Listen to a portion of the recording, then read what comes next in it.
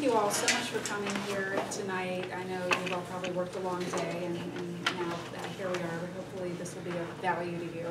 Um, I'd like to thank uh, both the Association of Healthcare Journalists for partnering with us on this event, and also the Robert Wood Johnson Foundation for uh, making this event possible. So, we are here to talk about uh, the subject of narrow networks. Um, this is a phenomenon that came about with the Affordable Care Act. It is not, um, uh, it is not just happening with exchange health plans. We know that this is a phenomenon that's really uh, taken, taken root. Um, with the Affordable Care Act and health plans no longer being able to um, uh, work to lower their costs by um, with pre-existing condition limitations or uh, denials. Uh, the ACA also um, uh, made it impossible for health plans to uh, put restrictions on lifetime limits and, and other things, mm-hmm. other tools that the health plans were using to try and keep their costs down. So with that, a lot of the health plans very quickly uh, in the first year turned to uh, narrow networks. They decided to um, to cut out, a lot of them decided to cut out some of the most expensive uh, providers, both hospitals and, and, physicians and other providers in their systems, in their uh, networks.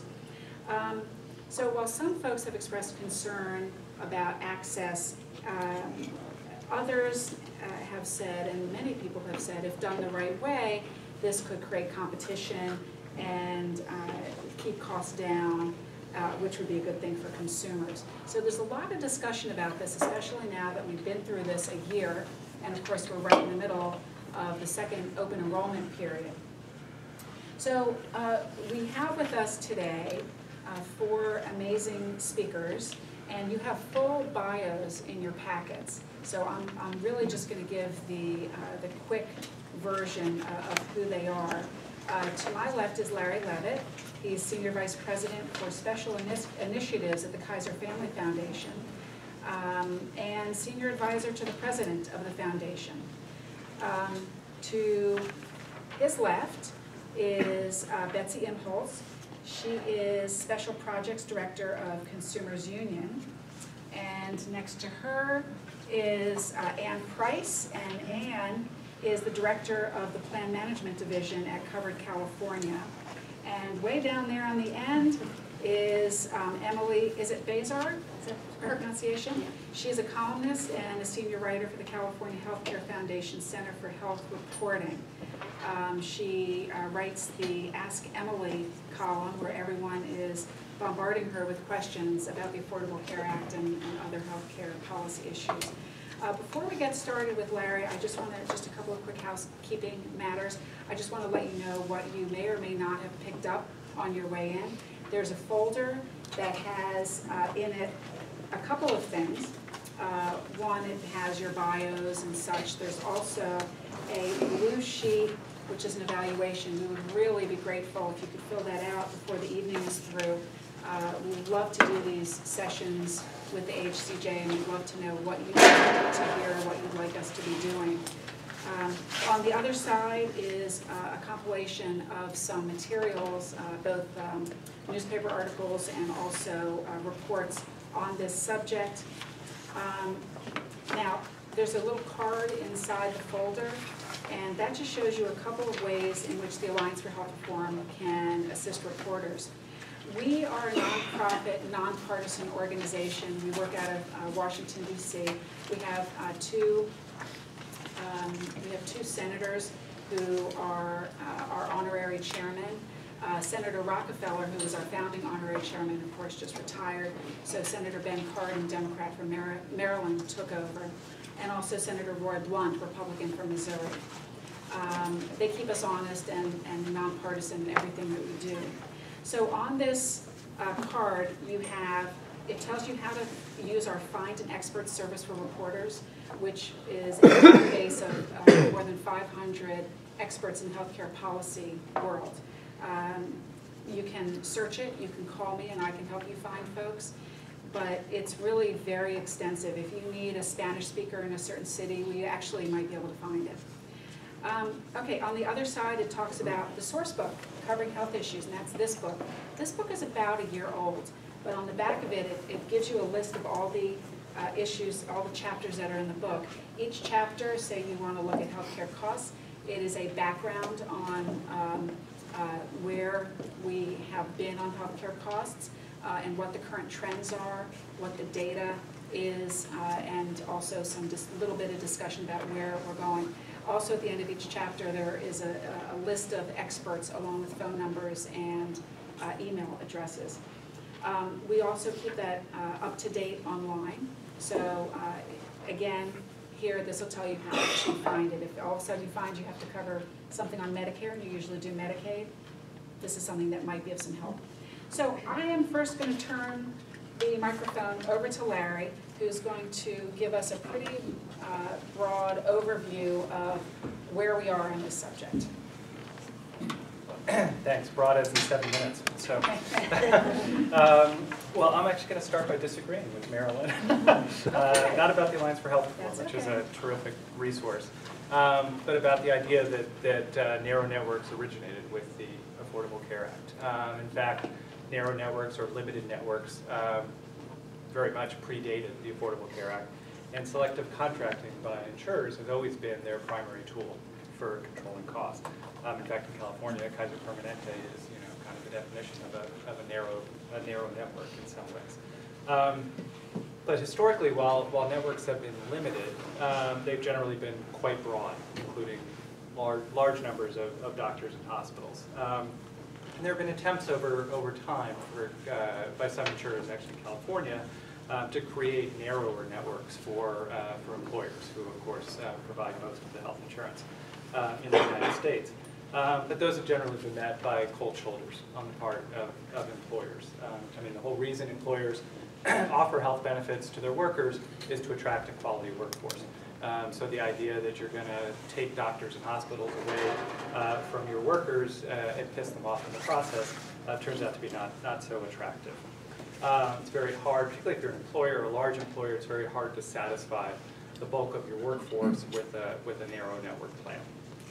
Um, But even, even broad networks pose some, have, have posed some tough decisions for employers. I sat in on some focus groups recently with uh, human resources managers for small and, and mid-sized companies. Um, And they all said that when choosing a plan or, or deciding whether to, to switch insurers, the first thing they do is they collect a list of all the doctors that their senior executives use, and they match that up with the uh, networks of all the insurers, and that's, that's how they pick an insurer. Um, So the ACA didn't create limited networks, but it has, uh, I would agree with Marilyn, that it has accelerated the trend towards narrower networks, and that's particularly true in, in Cal, in California. Um, and particularly true in the individual insurance market or in the new marketplaces like Covered California. Um, As Marilyn mentioned, you know, one of the ways in the individual market that we used to uh, keep costs and premiums down was by excluding people with pre-existing conditions. That's no longer an option, so they needed to look uh, to, to other ways of doing that, and narrow networks have been, um, have been one of those, one of those ways. Um, Insurers also went into this market um, expecting consumers to be very price conscious. Um, And again, these are consumers buying their own insurance, often paying either the whole premium or uh, paying the full difference in premiums between a low-cost plan and a high-cost plan, even if they're getting help in the, in the new ACA marketplaces. Um, And it turns out people have actually been very price conscious, um, looking primarily at the premium when choosing their plan. Uh, The data show that, that people have gravitated towards one of the two lowest cost plans in the exchanges, usually in the silver or, or second tier. Um, And insurers been able, have been able to attract big market share by lowering their premium through, through narrow networks. Um, And some of our polling uh, supports that. We asked people whether, uh, we asked uninsured people and also people with employer coverage, would you uh, prefer a plan with a lower premium and a narrow network, or would you be willing to pay more for a broader network? And the uninsured in particular, majority of them said they would prefer a, uh, a, a lower premium plan uh, with a narrower network. Um, And these plans are definitely lower premiums. Oh, Um. There's not good analysis of this, but McKinsey uh, had one analysis which found that narrower network plans offered by the same insurer and the same type of plan had a 26% premium advantage over plans that covered a, a broader set of, of hospitals. They looked particularly at hospitals. And, and just for a moment, I just want to mention that you have that report in your folder. Um, And I think my conversations with insurers suggest that that's probably a little bit overstated. Um, You know, I would look, I would think narrow network plans generally have a price advantage somewhere between 10 and 20 percent, but there is a significant price advantage. And as I said, people have been very price conscious in, in choosing which plans they enroll in.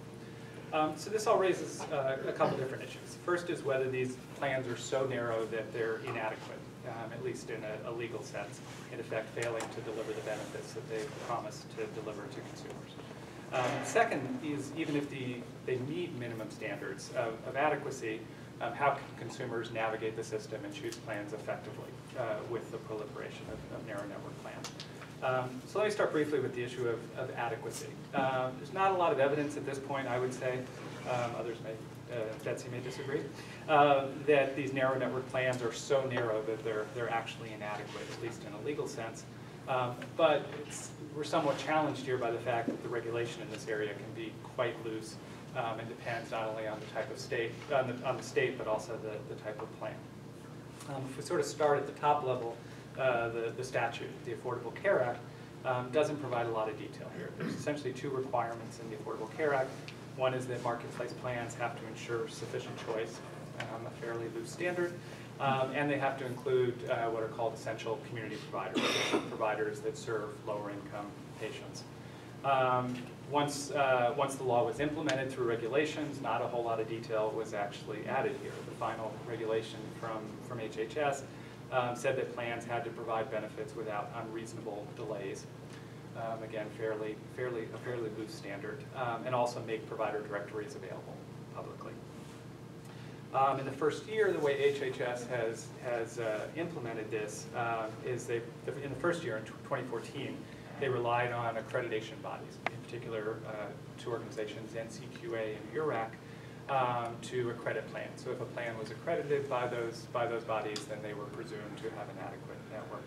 Um, And those bodies generally did not require that insurers had specific, uh, or did not require specific standards or do an independent review of the networks, but instead required that insurers have their own policies or have their, their own standards.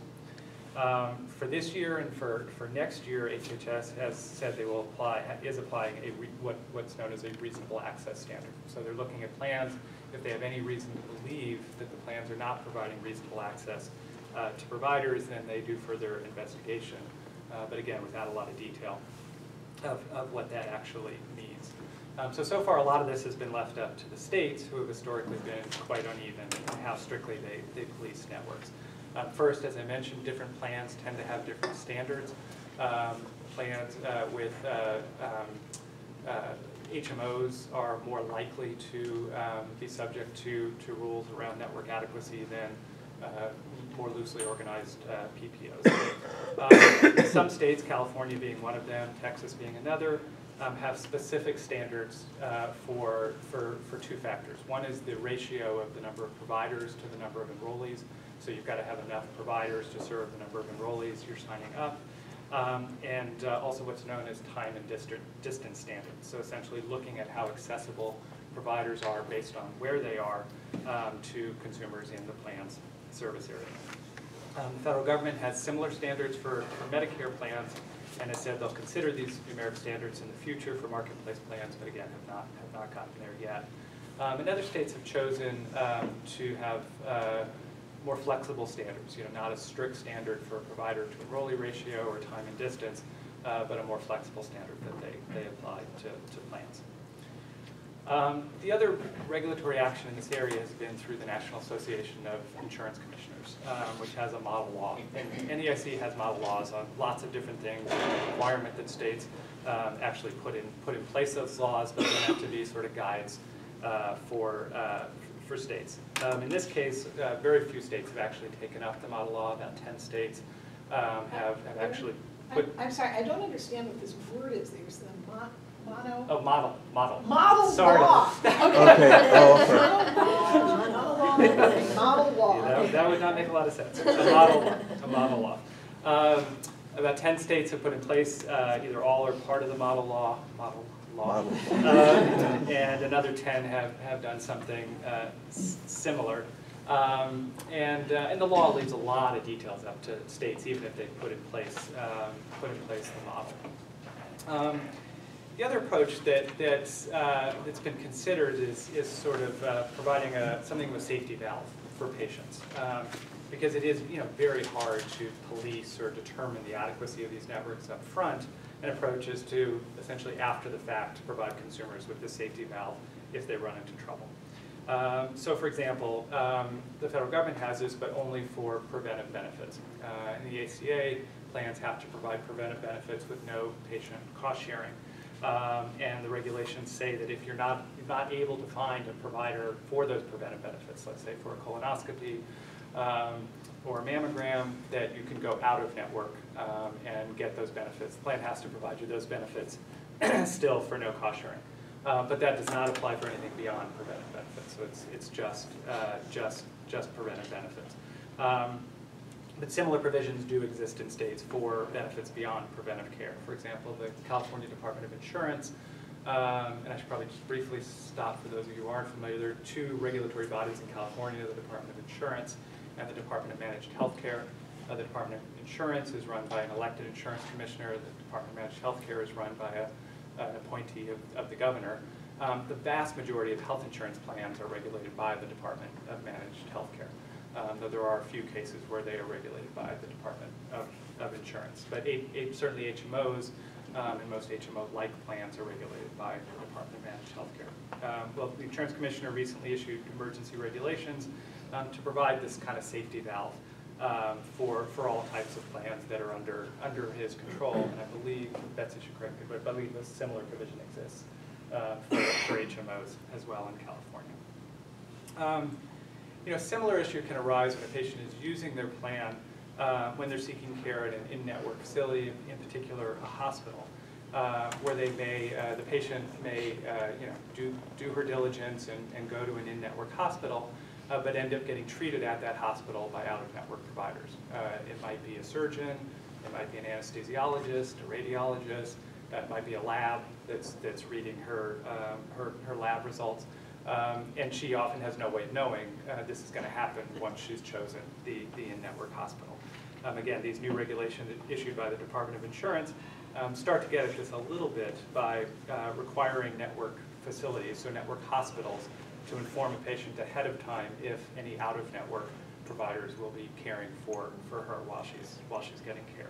No requirement that they be in network, but at least informing the patient that they, um, that they might be. Um, so this starts to get beyond the question of just regulation, but how consumers actually, actually navigate this system. And this gets to the issue of transparency, how well consumers actually know when they're choosing a plan or even using a plan, um, what the network looks like. Um, as I mentioned, public, uh, provider directories are now publicly available.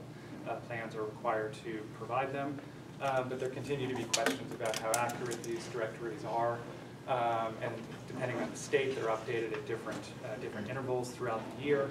Um, and, um, and so how up-to-date and how accurate they are to, to begin with. Um, and not all of this is within the control of insurers. I mean, providers may stop taking patients or may drop out of a network, um, insurer has to, has to keep up with that. Um, The directories are also not always easy to use. Um, They vary, they vary, they're within the control of the insurer, so they vary from insurer to insurer. Um, Typically, what you have to do when you go to one of these directories is you can search for a particular doctor or a particular hospital, and it'll tell you whether that doctor or hospital is in the, is in the insurer's network. Um, But if you're choosing a plan, you may have multiple doctors that your family is using, you've got to do this for every doctor and for every plan uh, you might be considering. Um, The LA Times had a kind of interesting uh, solution to this. They've got a data journalism project where they, through a Public Records Act um, request, got the provider directories and created an interactive uh, map-based app where you can actually look geographically which providers are in your area and then see which, which plans they're in. But that's, that's not, certainly not something that, that exists everywhere, and there's no guarantee that app will be, um, will be up, up to date. Um, It's also a fundamental challenge here for, for patients um, in that, you know, you may know, uh, you may know who your primary care providers are, who your family members' primary care providers are. If you have a chronic illness and you're seeing a specialist regularly, uh, you may have a relationship with that specialist. Um, But but it's just the nature of healthcare that you don't always know what's going to happen to you. Um, So you may be healthy now when you're picking a plan, but you don't know that six months from now, you're going to be diagnosed with diabetes or, or heart condition, and all of a sudden, you're going to need, uh, need a specialist. So when you're choosing the plan, you have no way of knowing that you need to look for a cardiologist and which cardiologist is in your network, because you didn't know you needed a cardiologist at the time. Um, So in some sense, what you would ideally want is some kind of rating system that tells you whether an insurer is a broad network or a narrow network. So at least you have a sense of what you're choosing when you're making that trade-off between the premium and the network. And that may not be obvious to you if you're just searching for your, your family's uh, primary care providers. Um, So in, in closing, I think it's fair to say that these narrow networks are here to stay. Uh, If you talk to insurers, they, they certainly feel like they made the right, the right marketing decision by narrowing networks and, and lowering premiums in the first couple of years. Uh, There may be a backlash at some point, uh, but as of now, many people buying coverage seem to be willing to, to have these narrow networks in, in return for, for lower premiums. Um, And we may actually even be seeing this um, expanding to the employer market as well. Uh, Lisa's written about the, uh, the fight, current fight going on between Blue Shield uh, and Sutter, uh, which could affect a significant number of patients uh, with, with employer-based coverage. Um, And it remains to be seen, this fight may, may be all about brinkmanship and they'll, they'll reach a deal soon, but it's at least an indication that Blue Shield, uh, major insurer in the state, is, is willing to start uh, dipping their toe into the water with uh, narrow networks for employer-based, um, uh, employer-based benefits as well as the individual market. Great, thank you, Larry. So we're going to move now to Betsy. If you could pass Yep. our microphone down, that would be great. Thank you so much. Can you hear me? Yes. Um, So there's no question that it's an extremely dynamic point in history in the healthcare marketplace. Um, And the network issue has certainly garnered a lot of attention. Um, I do agree with Larry that this is, it coincides with the ACA and maybe accelerated by it, that is the narrow network issue. Um, But it was happening, starting to happen anyway, it was going to happen because we've all come to recognize, I think, that healthcare costs are sort of spiraling out of control, and we do need to find ways to rein them in. And of course, the narrow networks are one technique that's put forward to uh, assume that um, health plans can negotiate hard with providers, guarantee the providers a volume of care, therefore costs will go down to the plans and hopefully be passed on to the consumer, um, and everything will then uh, be stabilized. That's the theory. And, you know, I do think that it's early on, um, that the evidence isn't fully in yet. I think we need more time really to figure it out. Um, But it does seem to have lowered premiums somewhat, and we just, you know, that gets us then very quickly to the question of network adequacy. And just for the record, Consumers Union, um, with published consumer reports, um, doesn't oppose narrow networks so long as they are sufficient in terms of the network adequacy standards in the state. Um, And that- that the savings are attained and are actually passed along to consumers, that the quality of the, um, of the providers is, um, is good quality. Um, And those are all, those are all ifs, and I think we're waiting to see um, what happens out there in the marketplace. Also, I think we need to be able to signal to consumers what they're getting. This Is a very broad network, a narrower network, an ultra-narrow network? And I think that's another sort of evolving policy thing that we need to work on more and test with consumers to, to see how we develop those kinds of measures. So, as Larry said, network adequacy really is a term of art. It's a legal um, regulatory standard that only the regulators can enforce, and it involves these things like, you know, time and distance standards, how quickly you get an appointment, in some cases provider ratios. Um, But only the regulators, the Department of Managed Healthcare and the Department of Insurance in California can enforce those. I would also add in a third agency, just to make things really complicated, which is the Department of Healthcare Services, which has a role in ensuring the adequacy of Medi-Cal plan networks. So add that additional state layer onto that. But we also have, as Larry was describing, um, other players now increasingly involved and concerned about networks. Um, And, you know, I think that's partly because it's not just network adequacy, the legal standard that, that counts, but also for consumers, it's um, consumer as network satisfaction. Maybe they meet the letter of the law, but is it, do I feel okay about it? Is it really what I wanted? Do we feel accepting of it? Will we buy that product, for example, from Covered California? So we have CMS coming in, Larry described some of the regulations and the regulatory approaches. They're starting to take about um, exchange plans, for example, and the NAIC, the National Association of Insurance Commissioners, and their Model Act. Um, And then covered California, our exchange also having active purchaser status. That is, they will also negotiate with the plans. They don't have to let all plans in. They can pick and choose, and they have contracts with these plans, and I'm sure Anne will talk more about how they're exercising that. So Marilyn said to me, so with all these players, so what's the best thing? You know, for, what works for California? And what, what I've said is that the Affordable Care Act is there and there are standards and we need them. All states need them. Some states need to come up in their network adequacy standards. They don't have anything much going on. Other states like California have really pretty rigorous standards, you know, going back to the Patient's Bill of Rights days. We had some pretty, um, pretty good things put in place in California. Um, But the, the federal ones need to be sort of a floor, set the minimum standards. um, And then allow states that have a, have a vision or an aspiration or a need based on their unique geography or market conditions to go further. And so um, similarly, the NAIC, the National Association of Insurance Commissioners, they call it a model act, but from the consumer advocacy side, model is um, maybe not the, quite the right word, because um, these are, these acts, these model acts are the product of a lot of negotiation amongst commissioners from all kinds of states, red states, blue states. Um, And so they can often be um, sort of a lower common denominator than, than we might like here in California especially, we like to push the envelope. So um, we do think the revisions that they're proposing are good ones. It was time to update the act, and we're really, you know, pleased about those, but we want to push them even further um, and make it a real model that's sort of an aspirational model. I'm not, not sure we'll achieve that, but I think we have to give it a try. Um, So Marilyn also asked me to talk a little bit about the state of play in California. So what's, what's going on here? If we have stronger rules, I've said California is, you know, we're, we're leading, we're aspirational, and we've got some good things from back in the olden days, which we do have, but why are we still having problems? And I think what it really comes down to is, this is a very complicated thing to monitor and to regulate.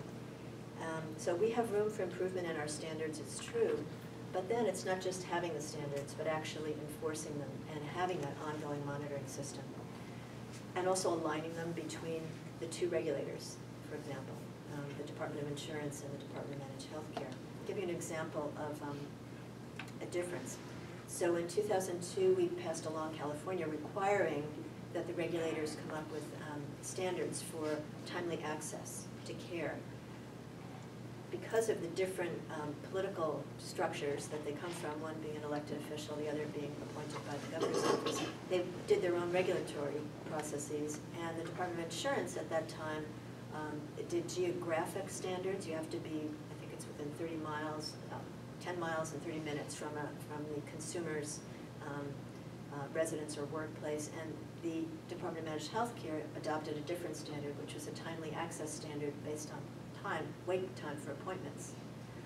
So we've got two, both very good, but different standards, and it makes for a very confusing marketplace. I, I would think also for the regulated entities, as well as for consumers to figure out, what are the rules here exactly? Um, The, the commissioner has just um, put forward emergency regulations, really um, very thorough, um, good ones. I think they got closer to aligning the two. They are, I would say, though, emergency regulations, and um, the Office of Administrative Law, as a procedural matter, has to approve them as, as emergency regulations. Um, And I think it- we'll wait to see if that, if that happens. And if it does, then they're only in effect for 180 days. So, you know, as in everything in healthcare, and especially around the Affordable Care Act, everything is always in flux. So just don't take it as a given that those regs are, are yet in effect. Furthermore, around network adequacy, um, the regulators checking on this stuff are checking at a point in time. It's really a snapshot. When you file, you may have a perfectly adequate network. But maybe next month, doctors retire, they die, um, their contracts are terminated, whatever. So it's, it's very difficult, I think, to keep up um, with the assumption that a network is an adequate one. Um, I will spare you the details of our exact um, standards for, for uh, network adequacy, um, unless you want them in a question and answer period. But um, it- it- we can't ignore the fact that in the early stages of open enrollment, the first open enrollment period, there were huge outcries um, from consumers about problems in narrowed networks, um, particularly came up around products in covered California. And what, we believe that some of those networks really have broadened and improved. Um, I know Anthem said they have um, increased between um, January and August of 2014. They increased their networks by, I think, 3,800 doctors. Um, Blue Shield of California as well had a very narrow network in Alameda County that was just Alameda. You couldn't go outside Alameda County for your care. They broadened that to allow people to come across the bay to get providers. So there definitely has been, whether it's from public pressure, from journalism, uh, from regulators, from Covered California, for whatever reasons, the plans did start to broaden things and broaden their networks. And um, we hope that in 2015 we'll, um, we'll find that people are more satisfied with those. The Department of Managed Healthcare as well, um, because of complaints they'd gotten about network adequacy, um, did what they call a non-routine survey. It's sort of like an audit um, of the two biggest plans in the exchange, um, Anthem and Blue Shield of California. And I think that's in your packet, actually, the, um, the findings that came out in November of 2014. And they made some significant findings. They did find that in twelve percent of the providers were not at the location listed, thirteen percent were not accepting new patients. And in addition, um, that, that uh, more than ten percent of the providers had changed in the network from the original filing, and that they should have reported that and didn't. So there are those findings out there by the, um, by the Department of Managed Healthcare. As well, there are a couple of lawsuits, you've probably written about them or certainly read about them. Um, Some against Anthem that involve the adequacy of their pharmacy networks. Um, For HIV patients, they were requiring people to um, use their mail service and not go to the community pharmacy. In essence, the community pharmacies were becoming out-of-network uh, pharmacies with much higher cost. And that's been challenged in a couple of lawsuits. Anthem as well, there are at least three lawsuits that I know of. Challenging them for um, allegations of misrepresentation of networks, false listings in provider directories, um, giving consumers information about the narrowing of the networks, not, not until it was too late to change plans. Um, So uh, these suits go on. Um, I want to take a minute to talk about provider directories as well. Larry, Larry raised that point as well. These are, the problems with provider directories are age-old problems. They predate the ACA, but I think they're really taking on new meaning and importance and visibility because the ACA actually gives us a chance to have shop for insurance. Because there's no more pre-existing uh, condition exclusions, we have array of plans both on and off the exchange. Um, People are really now getting the first chance to really, really dig into them and use them. And our research shows exactly what Larry was saying, that people care about two things when they're choosing a plan. Premium is number one, and closely behind that was who, who my provider is. Um, So it's vitally important that people know when they're choosing a plan, and then of course, when they go to use the plan as well, they need to know who's in the network and out of the network, because if, as you know, if someone's out of network, the costs can rise very considerably and end up with those surprise medical. Um, So we think it's really time to update the law about provider directories. The original laws in California that were written, that are on the books now, were written more than a decade ago, and that was the era of paper, the dark ages. Um, And now we are in a whole new world, and with web-based directories, it should be somewhat, maybe a good deal easier to update them more frequently um, and less expensively. We know we'll probably never get to hundred percent accuracy because of the nature of the continual change, but um, certainly we should have, we should have better accuracy. Covered California, um, to its credit, did try to do a consolidated directory. um, And because of some of the things Larry mentioned about the inconsistencies among plans and frankly the inaccuracies, inaccuracies that are in the plans themselves right now, um, it was difficult to get a really accurate consolidated directory, so they, they took that down. Um, But I think that it's maybe a little unfair criticism that the exchange got because all they did was use the data that they were given by the plans, which in some cases was not up to date. Um, In Medi-Cal, I just don't want to neglect Medi-Cal either because it's a huge population in California. Um, Those directories as well have been found to have very significant flaws and um, some good reporting from, by the Hannah Guzik, is it? Um, At California Health Report, her secret shopper investigation of those directories, I think was really, had some really significant findings that more than half of the doctors, for example, in um, directories in three counties were not accepting new patients. And um, so this calls into question also, you know, are the networks adequate as well as the directories being inaccurate? Oh, but doesn't that also call into question Medi-Cal? I mean, they, you know, they, they're famous for paying doctors very low amounts, and so, and then to turn around and say, oh, we can't find enough doctors. That's a problem, no, no question, that's another age-old problem. Um, So, um, we really think that several improvements need to be made and can be made in the directories, and within the next week or two, um, Senator Ed Hernandez, who's the chair of the Senate Health Committee, is gonna introduce a bill. Um, Ask you to watch for it, um, Consumers Union is a co-sponsor of it, to try to um, update the law on directories, to make the updating requirements more frequent, um, make it easier for people to report inaccuracies and to get them corrected, um, to create maybe a standard template, um, and to use these directories as well for checking as a sort of a checkpoint against network adequacy. Um, Finally, the point that Marilyn also asked me to touch on is consumer interests and provider interests. I certainly don't speak for providers, I'm not a provider, I never have been. But um, I I can say just a couple things about that, which is that in this environment, um, it's sometimes the case that provider and consumer interests will align. Um, Not that providers are all monolithic groups. Some, as you know, were supportive of the ACA, others opposed it.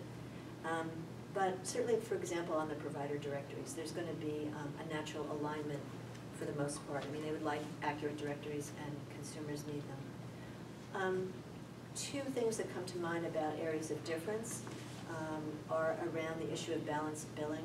That is, um, consumers would like to see in those situations where they have to go to an out-of-network provider, um, an assurance that they're not going to get billed for the, um, any difference in what the provider got from what the insurer gave them, from what their actual bill charges are. Um, And providers don't always like that.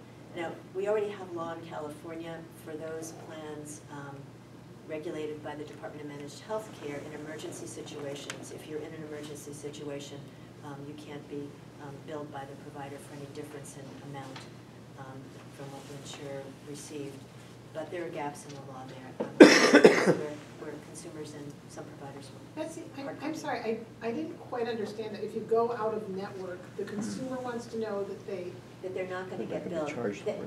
Right, they're not gonna get charged for the, for, it's an out-of-network provider Right. who would have gotten a larger amount, they, they, they billed for a larger amount than they actually received Yes. from the insurance plan.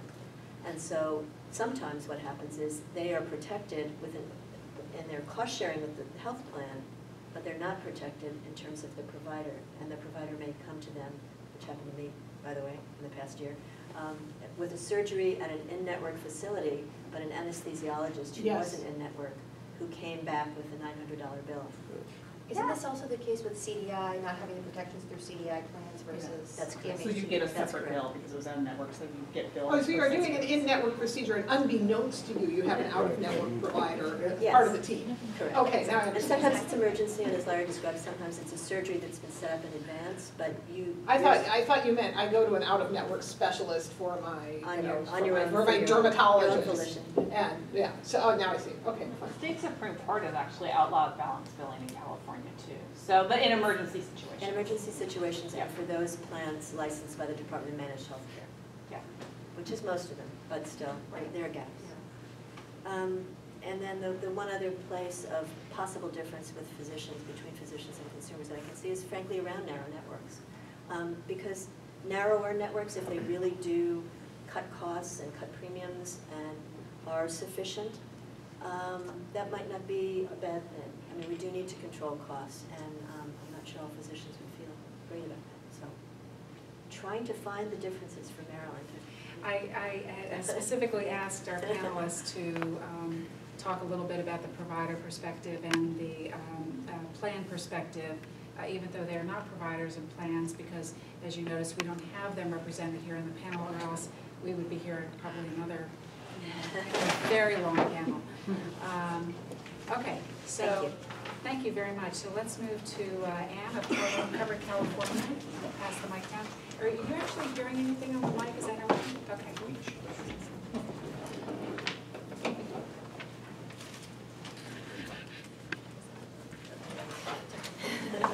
So good evening, everybody. Um, I wanted to start my presentation today with a quick story, and um, I like to do this when giving presentations to provide some context. But when my daughter was just uh, shy of six months old, she was diagnosed with neuroblastoma, which is a cancerous tumor that was found in her chest area. And I won't go into details how lucky we were that we found it so soon, but I will tell you about the results. And my daughter's now a beautiful 17-year-old girl who will be attending Oregon State this fall and um, majoring in science, and she wants to become a doctor. The relationship that I had with her team of doctors throughout her life have been very personal and based on complete trust. I have experienced the notification that my daughter's pediatric oncologist was no longer um, covered by my insurance. And so what did I do? Well, I researched my choices. I looked at the plan choices that my husband and I were able to obtain through our employer coverage. I did lots of checking between plan directories to make certain that the new plan I was considering had my doctor in their network. And imagine this seventeen years ago, as we've already talked about, um, directories weren't online. They were books, they were paper books, and as soon as you got them, they were probably already outdated. Um, if you called the provider office, they generally didn't know what plan they were contracted with, and they did not know what product generally they were contracted with. So the only way to some degree of certainty was to call the health plan physically, get them on the phone, and confirm um, if the provider was in their network. So I eventually was able to change through open enrollment to a new plan where I was, and I was, I did have our, we did have our oncologist in network. So if we flash forward today, um, as you know, things are much different, and we've talked about this, provider directories are online, but are they any more accurate? And um, provider offices seem to be more engaged with understanding what insurances, um, insurance they take, but really, do they, they know? And I think in the early days of the ACA, we found that they didn't, there was a lot of confusion. So who has the responsibility of making sure consumers are choosing plans um, where they're able to see the provider they wish to see? Who has the responsibility of making certain that the provider information is as accurate as possible given this constant degree of change? And I would say that the responsibility is shared between health plans, medical providers, regulators, and consumers. I will also say that at Covered California, we do believe we have a responsibility too. And that responsibility is to make sure that we offer our, our consumers meaningful choice in all areas of the state and that we work with our contracted health plans to make sure that we can provide as much transparency as we can, given the technology limitations that we have. And we want our consumers to make educated plan choices.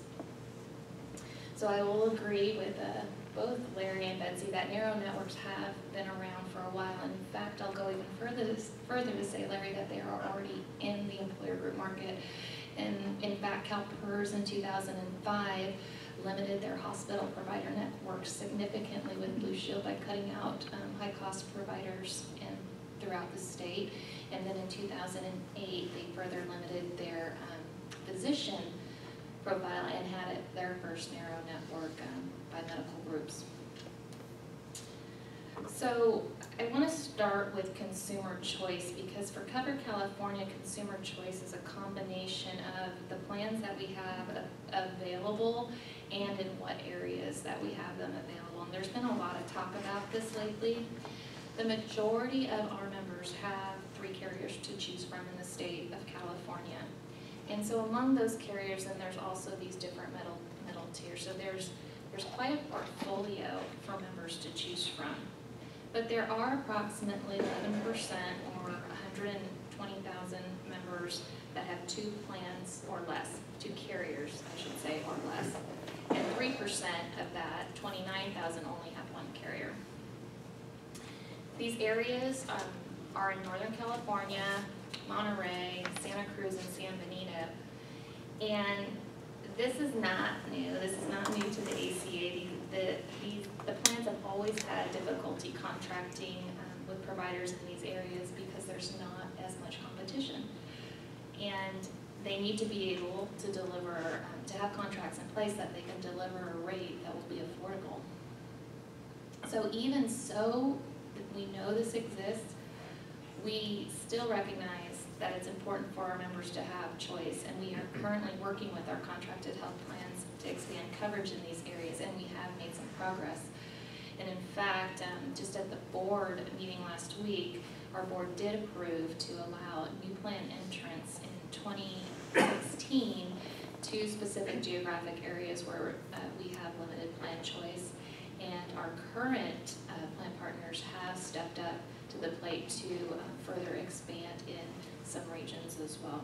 Quickly, just, can you tell us what the plans are, is the list too long to go into right Um, I can't tell you where the plans are, well, I can tell you where the plans are proposed to expand to, so that there will be complete plan choice, and that would be in the areas of Placer and El Dorado County, Monterey, and there are areas in northern, uh, California, but northern California will still be open, because we still have areas where there's only two plan choices.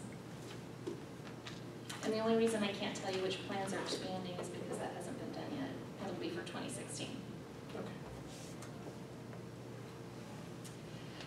So, um, again, the board has made the decision that we will allow new plans to submit applications, and, um, this was just approved last week.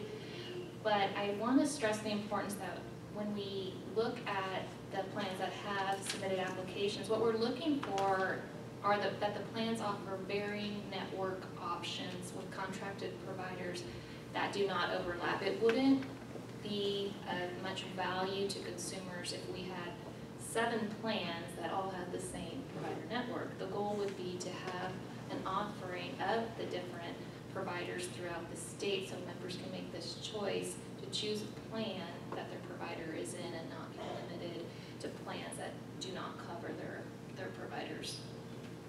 And currently, um, we just did this analysis, we have currently across all plans, sixty-one thousand unique physicians. And what that is, is it's greater than seventy-five percent of all active licensed non-hospital-based physicians in California. So I would say that that's not very network. We have, we would love it to be to hundred, you can never be to hundred, because not all providers contract with health plans, but, you know, greater than seventy-five is certainly in the second year of the ACA, um, a good number to have. In terms of hospitals, there's greater than 90 percent of all licensed acute care hospitals in covered Cal, or, sorry, in California.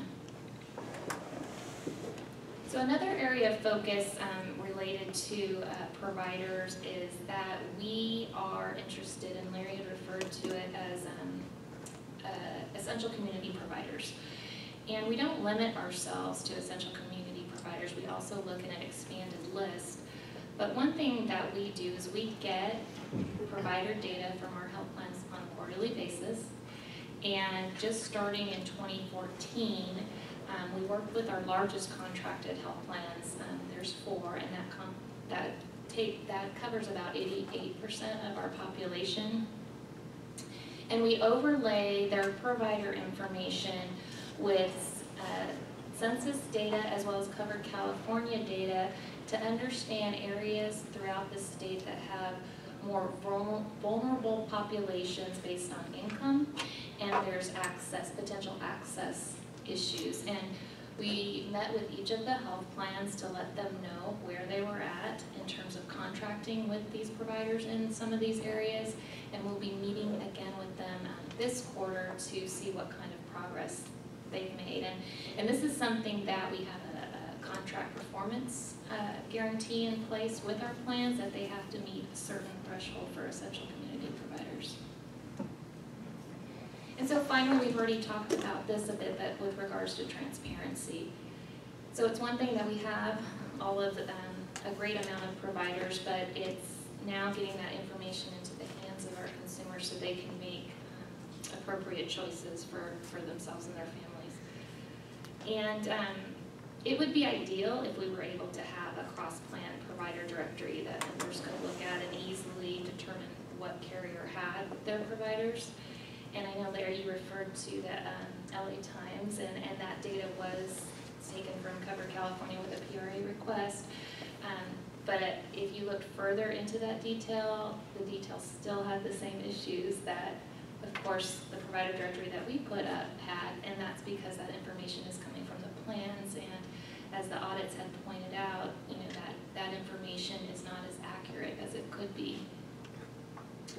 So, we're interested in having that, but at the point where we're at with the DMHC audits that occurred and with the issues that were found, the plans are taking correction, correct, correction and actions on their provider, um, data to improve the, the directory, and so we're not really at a point where we believe we can offer anything of value, and I would say that we're still understanding if Covered California is the right place to provide that, because as Betsy talked about, we have, we have Medi-Cal too, and so who is the right um, entity to put a statewide provider directory? So as we figure that out, there could be an interim option. One thing that we're looking at have a limited directory that's limited to hospitals, understanding that it doesn't change as often as the medical providers? And so that's, that's an option that we, we could look at. But we still, um, you know, considering what I talked about at the beginning of this presentation, we have come a long way since paper. And our consumers do have the ability to look at a plan through their link and look at their provider directory, or what providers are available by each plan before selecting a plan. Anne, I'd like to ask a question about the statement you made earlier on this topic, which was that there's a shared responsibility to understand um, network uh, Yeah. coverage amongst all these different stakeholders. Um, As a consumer advocate myself, though, I I worry that if no one has the ultimate responsibility, then someone is, there's potential for the consumer to never have the clarity that he or she needs. So what are the perspectives, for example, on the provider, for example, being responsible for sharing that information? Um, and, and to throw my own story in here, I recently visited my dentist. Now, luckily, my bill, balance billing issue was only seventy dollars or something like that. But I was surprised to find my dentist is no longer in network, and I sure would have liked to have known that, um, you know, at the time that I scheduled my appointment, or at least when I showed up for my appointment. Um, I can imagine for many people that issue is a thousand dollar or ten thousand dollar issue. So, um, a couple, I think I heard a couple questions. So ultimately, um, in California, the regulators, I would say, have the responsibility of ensuring that the plans have, um, accurate provider data. They have, they have to assure that the plans have adequate, um, provider capacity, access requirements. However, as you pointed out, there, the providers also have a responsibility. They don't have the ultimate responsibility, but they do have a responsibility to the health plans to inform them of their changes. Now, health plans have typically in their contracts with their, with their providers that they have to inform the health plan of any changes. But there's, I, I would say there's probably not a whole lot of action taken if the provider does not do that. With the DMHC audit, I know that, again, there's corrections that are being made, and I think um, some of that would have to do with the plans are implementing surveys to take a portion of their um, directories and see if the, the provider is actually active, but there, that's just a portion, that's not the whole directory. So there is that responsibility, and I'm not certain how um, plans can hold those providers accountable to that. But I do also believe, um, again, the regulators have the ultimate authority, but the plans have that responsibility in making sure they, they can do whatever they can to make their um, directories as, as accurate as possible. It's still indirect, though. As a patient, I have to go to the insurance company before I go to my provider. Could we short circuit that and have the provider take responsibility for communicating that, since it's the provider's decision whether or not to be part of the network to begin with? N- Not today, I don't think so. I don't think you can hold a provider accountable for giving information and they cover the bill. Now, if the health plan says a provider's in their network, they would generally, you know, do something about that. And I think there, I just read that um, in one of the articles that was in there, but I was gonna say, it's not always the provider's choice. Sometimes the insurance company drops the provider, so. And, and the provider doesn't always know that they were dropped. And I will tell you from what Covered California is doing on that aspect, um, before I finish up, but we did recently, within the last month, have a big push of, um, provider relationship campaign where we're working with the ACA, we're working with the Hospital Association, we're working with different entities to, um, get the message out that their provider, their provider organizations and that members of those organizations are, or are not accepting Covered California with information have. Now, ultimately, the, the provider should be confirming with their health plan, but we're also taking that step to help, um, get that message out there and use the data that we have to communicate that with providers as well. So, um, so what, in, just in closing, I think that, uh, what I was getting to is that we have come a long way, but there's still obviously a lot of improvement that we, um, need to make, and I know that Covered California, and I personally, um, believe that we do need to have better information so our consumers can make, uh, informed choices when they're choosing their plan. And, to that degree, we'll continue to work, um, with different entities to, to, to, pro- uh, sorry, to, um, try and improve the information that's available. Thank you, Anne. So let's turn finally to Emily, who's going to give us an on-the-ground perspective and tell us what she's been hearing from Great, thank you. Um, So yes, I'm gonna uh, give you the consumer perspective, because that's what I cover and what I write about. But I'm also gonna come from, obviously, the journalist perspective, so that means I may be challenging some of the things that have been said here. Um, As Marilyn said earlier, I write a column, it's called Ask Emily, and it is uh, completely consumer-driven, completely consumer-oriented, uh, Q and A about Obamacare, um, in which I answer consumers' direct questions about the Affordable Care Act. And in fact, today, we sent off um, Ask Emily number 47 to our um, newspaper and radio station partners across the state. And honestly, I never thought I would get to 47, and, and, and that's in part because, well, I, I didn't um, stupidly anticipate how complicated this law was, and nor did I anticipate what a mess the rollout of this, um, of the implementation would be. Even though California did a good job, you know, God help the other states if that was the case. Um, so, to date, I've received, you know, people, consumers are so desperate for information and for guidance. It's a very hard law, um, and, and they have to jump through a lot of hoops. To date, I have received uh, more than 2,100 uh, emails, comments, questions um, to my Ask Emily email address. And I'd like you guys to take a wild guess as to what the number one complaint has been. Networks. Networks, narrow networks. And in all fairness, and I'll bring this up later, that has gone down. Those, that was primarily last year. But narrow networks have been the number one complaint. And when consumers, you know, write into me about this, they don't use the term narrow networks. Instead, they write about three kind of broad areas that I'll mention to you. And the first is access. Um, and these complaints are basically people that are saying, I can't find a doctor that's near to me that's in my new Covered California plan or private market plan. Or more commonly, and this is kind of a culture shift that's happening, my doctor, whom I love dearly, is no longer, or does not accept the new Covered California plan. So access is the first area.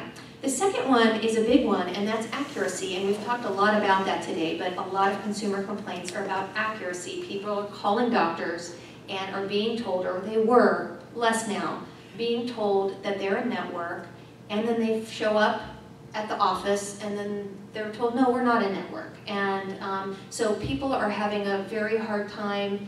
There's a lot of unreliable, inaccurate information out there. And this is huge because people's livelihoods in many ways can be at stake. Um, and I'll talk a little bit about that later, but um, accuracy is at the root of some of these lawsuits that Betsy mentioned uh, against Anthem and others, and also was the root of the audits or investigation or whatever you want to call what the Department of Managed Healthcare uh, looked into and found ultimately that those two big insurers, the two biggest in covered California, right, um, had misrepresentation of 25% of the each of them, of the providers in their, in their uh, lists.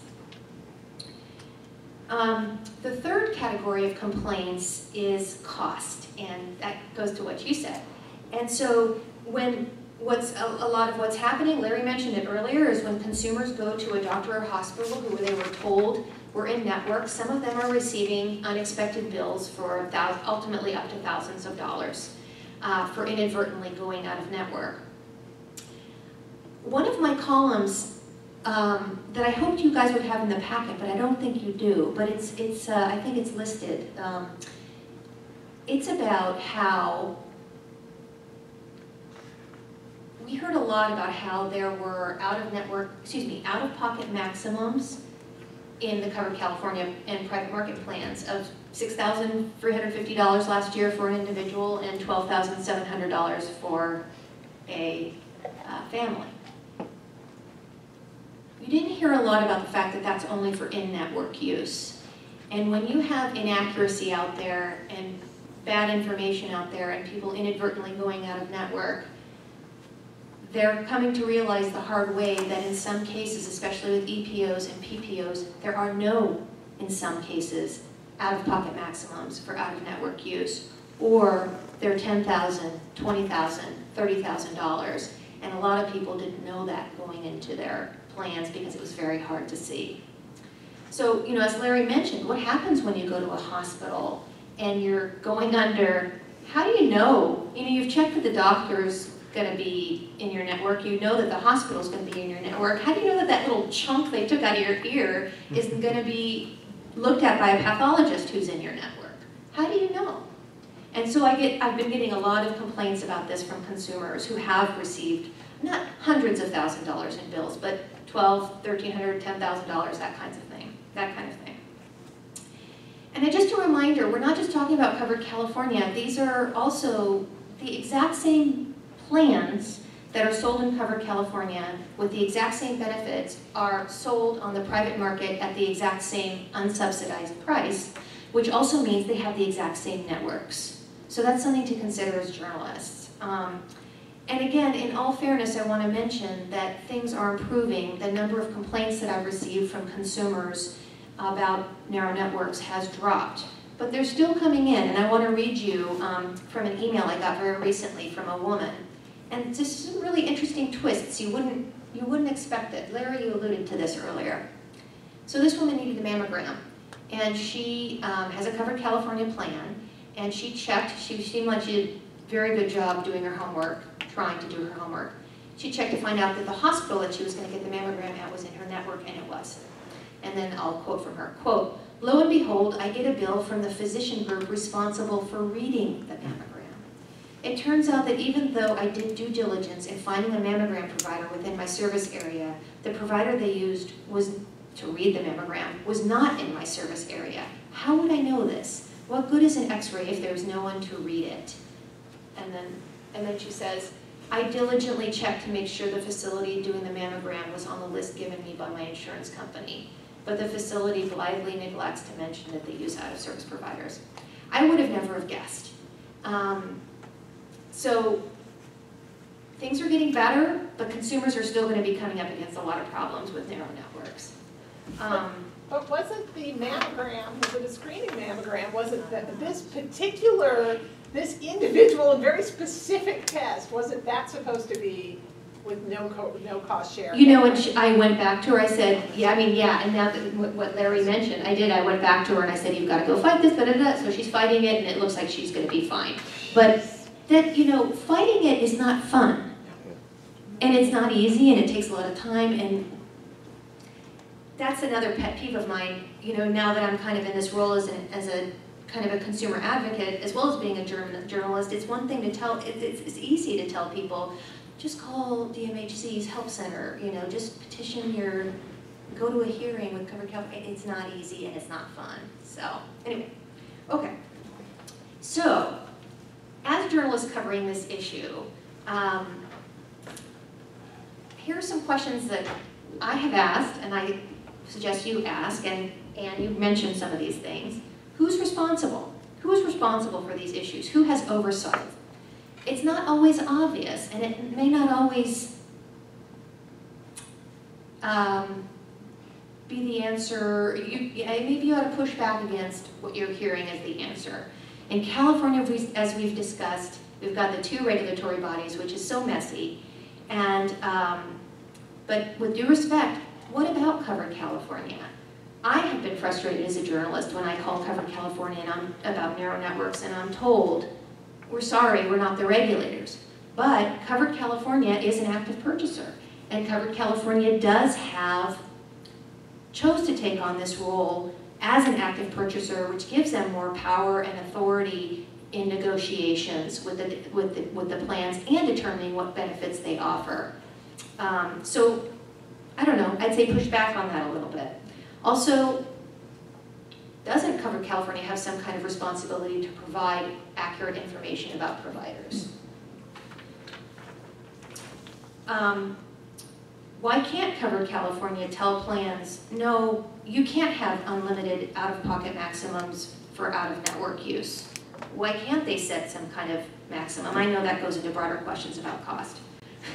We can get into that later. Um, and doctors, that's another great question. Um, Beth Capell of Health Access brought up a very good point when I was chatting with her recently about doctors are a problem in terms of narrow networks because a lot of doctors don't want to participate in these in these narrow networks. They don't get paid and they don't feel they get paid enough to participate in some of the covered California plans. So, you know, I don't know how much to get into this to get into this, but consumers also, you know, part of this is a culture shift for consumers, and it's about messaging. And pay attention to the messaging that people are getting about um, the Affordable Care Act and about networks. This goes back to big picture messaging from President Obama telling people that they could keep their plans and their doctors, and Peter Lee telling people that dealing with covered California would be as easy as shopping on Amazon. It didn't quite turn out to be the case, and people, I think, were taken aback. But it's also about the details, as I've mentioned before. Messaging is in the details. You never heard anybody talk about the out-of-pocket maximums for out-of-network use, but you heard a lot about in-network use. And so I think a lot of consumers were blindsided by that. So um, finally, I wanted to mention that there's no insurer on this panel, and but there is a representative here for the insurance companies. Sorry, Nicole. It, it's um, Nicole Kasabian Evans. Right. She's the Cal California Association of Health Plans. And I, I got a call from Anthem Blue Cross Darrel Ng, you guys probably deal with. He wanted to make sure, and I think it's fair, that, that, that their perspective is a bit represented here. So I had a conversation with him yesterday, and some of this was already brought up. He said that Anthem has spent um, millions of dollars uh, working to fix some of the problems with narrow networks. Um, he said that Anthem has reached out to every single doctor in its covered California networks to try to ensure that there are no discrepancies or fewer discrepancies in the um, uh, provider directories. And he said that it's added 6,000 doctors in the last year, um, including a lot of big hospitals like we've talked about, Cedars-Sinai and all the UC hospitals. So, um, so again, you know, I'm coming from this perspective as a, a journalist, but also now in this new role as kind of a consumer advocate writing this column. And, and I'm frustrated on behalf of consumers who by and large are trying to do the right thing and are trying to jump through all these hoops. But, you know, the best advice I can give them, and it's the best advice a lot of experts give them, is to do, do your homework. That's what I always hear. Do your homework. Find out ahead of time. But it's not fair advice when doing your homework is so difficult and in fact impossible in some cases. There you go. So thank you. Let's open up to uh, Q and A. Um, If you just- could please identify yourself. Oh, I had some comments. Um, I wear different hats. I used to be a mathematician. I was an underwriter for a major carrier. And um, I was a 19, or 2006 um, California Endowment Fellow, so Larry looks really familiar. And, um, but I've been, for the last almost 15 years, I've been an enforcement attorney for the Department of Insurance. So I just wanted to say, um, narrow networks was very overt in the 80s and 90s because you had managed care. That was a way to regulate the rates and everything, but that was also limiting choices for people. Um, that was more overt, and now people don't know, and so your lab tests could be sent somewhere. Um, so for Emily, the consumer advocate, um, one thing that the person could do is actually call the insurance companies. I, I had no choice where my labs were being sent. And actually, I learned this not through my work, but just through the networks, trying to find out how to solve problems outside of our consumer hotline. By the way, the CDI consumer hotline is 1-800-927-HELP. Um, so that's for traditional insurance plans, and if you're an HMO prepaid plan, that's DMHC. Um, so there's really, so there's really no transparency of rates, because with narrow networks, you don't even know what you're buying. And only when you're buying healthcare products do you not know what you're getting, because you think you're buying something, but things change. And even if you were Medicare Part D, the, the drug formularies can change from month to month. And as an attorney, I would say, that's a breach of contract, because I thought I was buying this. When I signed up for this, and I looked, and I read the contract, this is what I was getting. And unfortunately, Prop forty-five did not pass. I, and what I say today is not reflective of the Department of Insurance, I have to do that disclaimer. I, I speak from personal experience, and, and the views that I express are those of my own, but it's not one politician determining the rates. We have actuaries. Many people don't know what actuaries are. I was taking actuarial exams, but it was faster to go to law school and um, pass the bar exam. But there's actuaries, there's attorneys, and there's financial analysts at the Department of Insurance who determine what our rates, and this would have been posted on our website to let consumers know what the um, components of the rates are. So I don't know if another Prop 45 will creep up. Uh, the insurance commissioner doesn't like to give up, so I, I think that there might be something, but that's really something that needs to be posted on the website for consumers. And who can argue with transparency? So now we're working with UCSF on hospital service and just general rate transparency. Because you don't know what you're getting when you're going to a hospital. And now the slings are, you purchase separately. And you think when you're going in for a broken arm, everything's covered, but that's not the case. The other thing Do is really. Uh, well, the other thing is, I wanna know, in terms of access, we haven't discussed anything about language access. So if we're all English proficient and we all have college education and we can go onto the net, what about people who don't have access to the net? What about people who aren't English proficient? Do you mean with signups, or do you mean with actually I'm talking about just access and doing homework. I mean, let's say they do have a plan.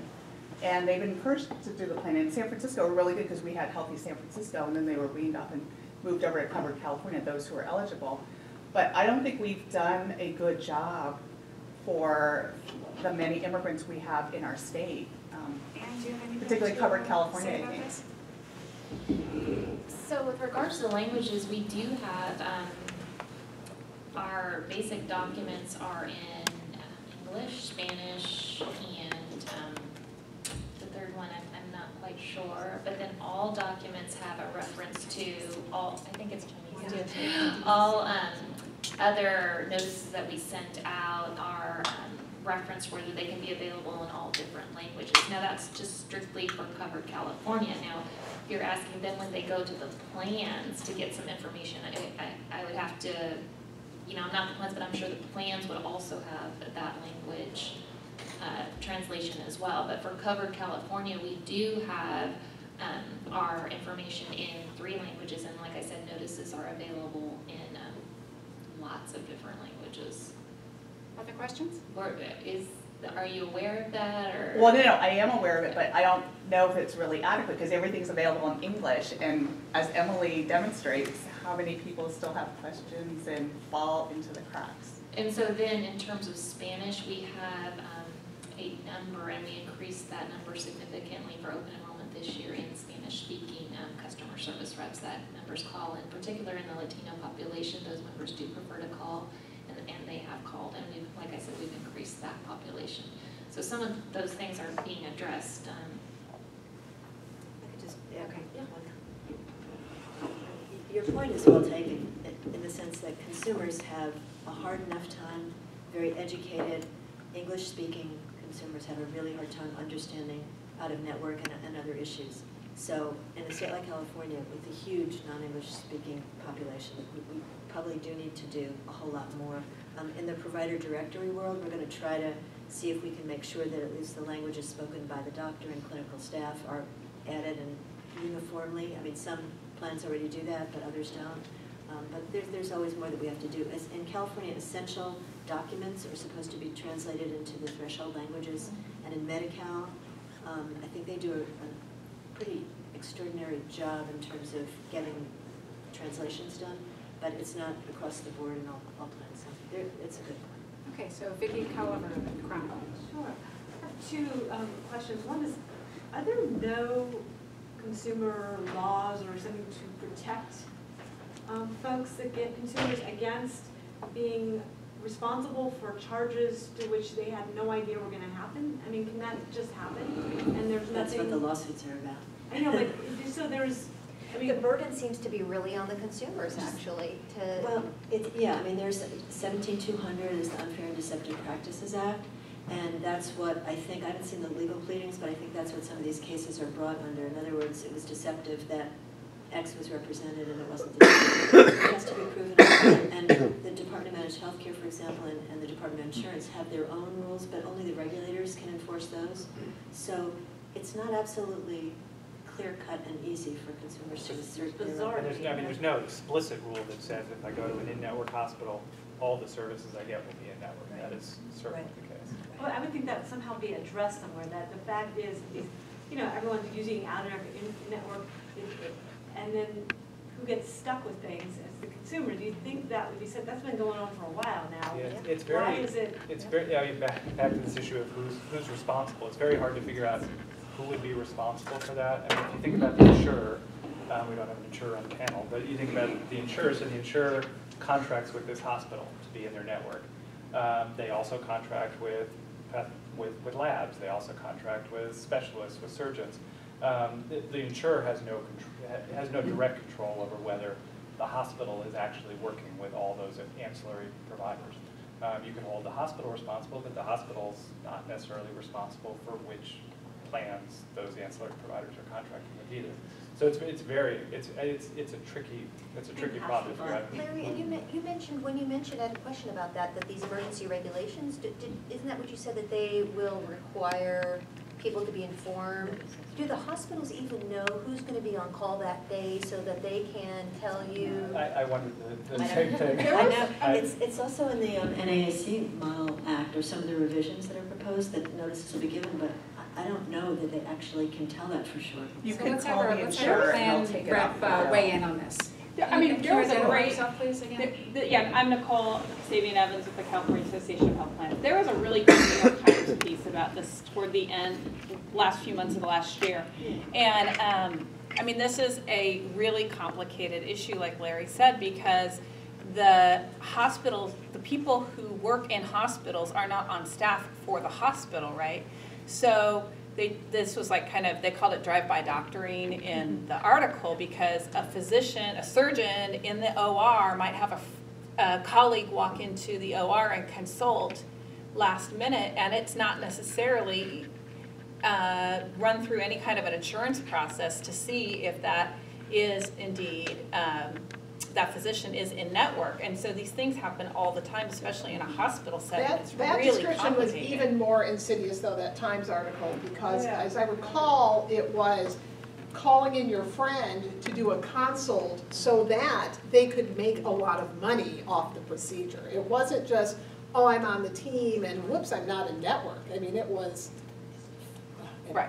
It's, a- so it shows how complicated it is though, right? I mean, But I'll, I'll also say, when I delivered my daughter in 2001, 16 months later, I got an anesthesiology bill for an out-of-network epidural. It's just because it has been going on for so long, that's long why I don't understand, you know, just to me, it's just bizarre. But it's amplified now. Yeah, It it is, is yeah, because more it is. Yeah. it. It is, I'm just saying that it just is. It had been It's also, we didn't talk, but, you know, for, we now have a lot more people buying coverage on their own through Covered California. Um, You know, if you get coverage through an employer, you at least have an HR department who is, uh, who is your Emily. Um, You know, if you're buying it on your own, you, uh, you- you know, you're on your own, and um, you you really don't have. So I was gonna say, I actually called the California Medical Association because I was trying to help a friend, and so I contact, I ended up contacting the Director of Economic Services.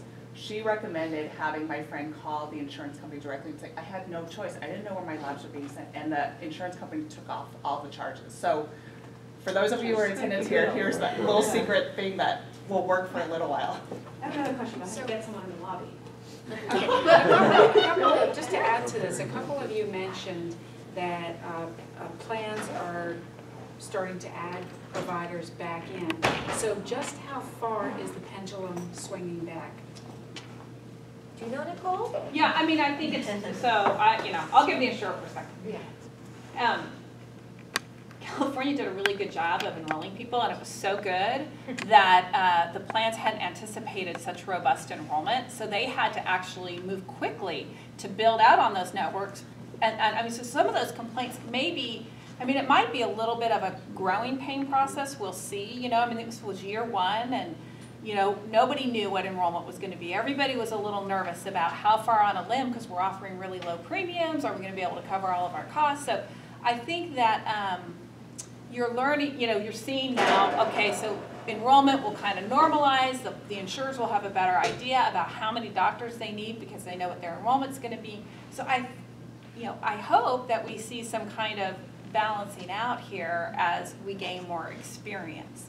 The other thing I feel compelled to bring up in representing health plans is the cost issue that nobody's talked about and Emily alluded to. And I know it's really hard and frustrating to have limitations put on which provider you can see and, and um, why you get charged for going out, get extra for going out of network. But if we don't have a system in which we are balancing all of these cost issues, the consumers will really be out of luck because the price of premiums will be through the roof. So I, you know, I don't, it, it, it's a difficult process we're going through right now, and I think we're learning our way through it, but we've got to keep in mind that that premium level has got to be at a point in which people can actually purchase it. And so I think that's the delicate balancing act that we're all trying to work out right now.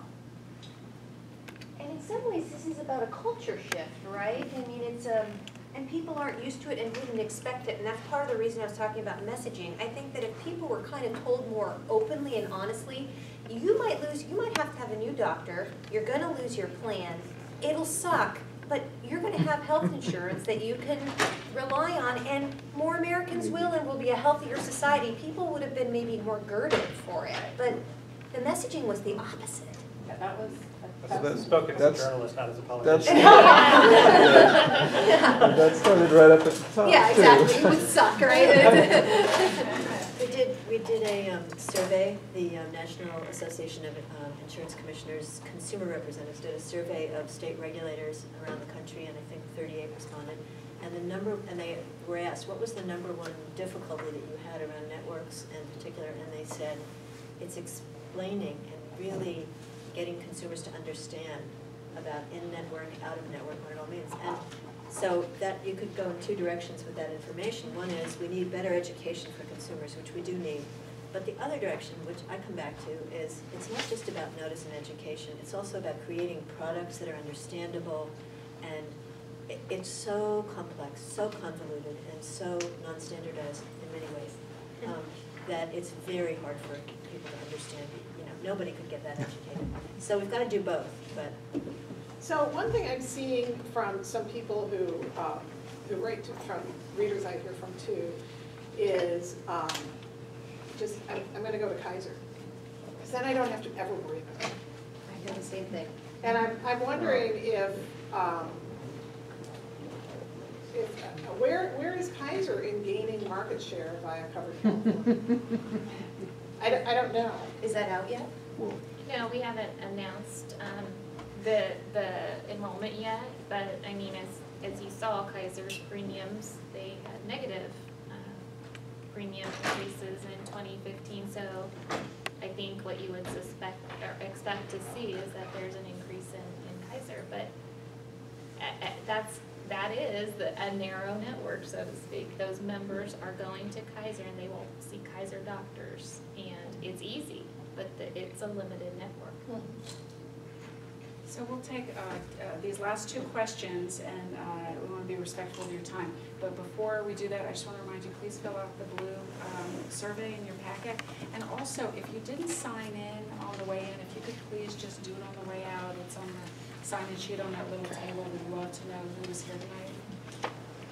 Okay, so, yes. Um, I have a question, sort of, I'm not sure who to direct it at, um, but it pertains to how you define this narrow network when you're writing, when you're writing Q and As and consumer information. So speaking of the contrast between Kaiser, the old way that managed care used to work and now, um, one of the areas that I see the most confusion in questions I field and in friends and everything is this packaging idea, you know, the example has come up several times of the anesthesiologist. So it used to be, in the old days, you'd be thinking in-network, out-of-network, and as I recall, you know, you'd, you'd go sort of by a facility and a medical group, and you'd pick a medical group, and you'd pick, pick, you know, UC or whatever your hospital was, and you could pretty much assume that if you used a lab or an anesthesiologist, it was all sort of packaged together, right? And, you know, How- Kaiser. How, how old days are you talking? Well, hang on, hang on, so, No, so no, I, I'm I'm. curious to how old, because, I mean, I delivered my daughter fifteen years ago now. Well, okay, I'm, I'm not really sure, because I, so, I'd also write a lot for Kaiser and about Kaiser, and, and it is true that with Kaiser, all the pieces of the puzzle come together.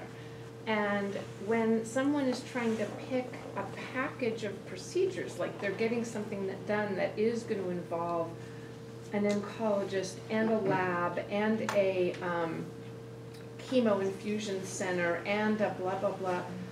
I actually have had a hard time instructing people how they're supposed to go about finding out whether all these pieces are in network and how they're not gonna get slammed.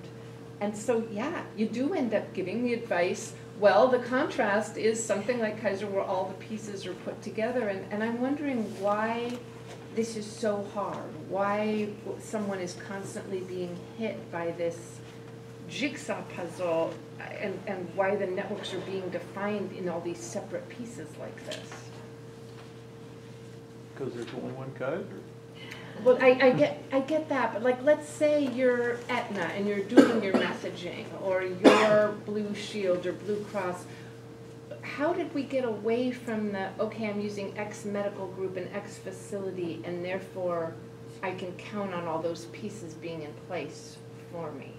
I think, I mean, my personal opinion is that I think when you think of the eighties, um, there was a lot of people enrolled in managed care, and in managed care, you did not have that issue with HMOs, when I say managed care, HMOs and capitated models. So within Covered California, we have Western Health and Alliance, which is a, is a great HMO available to members in Northern California. You have Kaiser, um, uh, Sharp, I believe, is an HMO, so there's some regional players, and that kind of issue doesn't exist in an HMO market.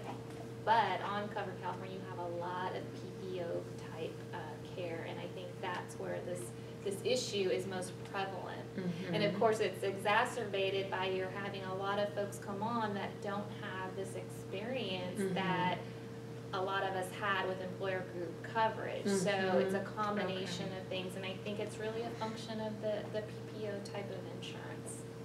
I'm not saying it's okay, and I'm mm-hmm. just saying that with that, with having that, we need to figure out, and by we, I'm not saying Covered California, I'm saying, Covered California working with our contracted health plans, is there a way that we can be more clear as to, um, what is covered? Because it certainly doesn't make sense even with, with what we talked about, I was saying to Emily, so a hospital notifies a member, well, when they're there, getting ready to have a procedure, are they just supposed to say, oh, never mind, let me leave and reschedule and reschedule my time off work and all of that? That just doesn't seem like it's reasonable. I would agree with Anne that it, that it is partly a function of the uh, PPOs as opposed to HMOs. I mean, a, a PPO network is, I mean, the network is defined by the fact that each of those providers is contracting with the insurer, but there's not necessarily anything that ties those providers together to each other. Um, and that in combination with the fact that these networks are narrower than most people are accustomed to in, in employer plans. Okay. So, you know, if you had a broad PPO network, you got a pretty good chance of knowing that the, uh, all the various providers are gonna be in network. Once the network narrows, the chances of, of one of them not, one or more of them not being in the network.